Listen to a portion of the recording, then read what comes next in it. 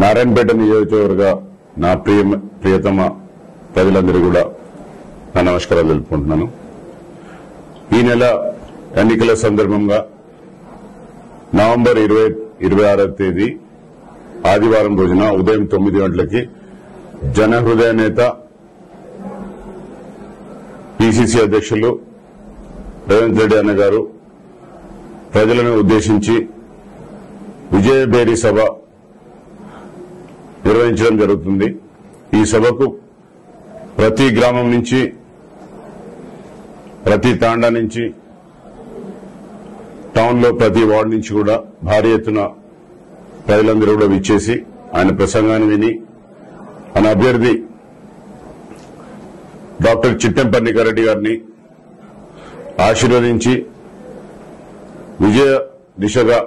వీరందరూ కూడా తీసుకెళ్ళాలని ప్రార్థిస్తూ సభని సక్సెస్ చేసుకొని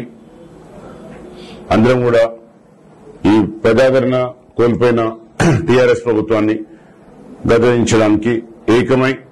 పోరాటానికి సిద్దమై ఉదయం తొమ్మిది గంటలకి ఇరవై ఆరవ తేదీన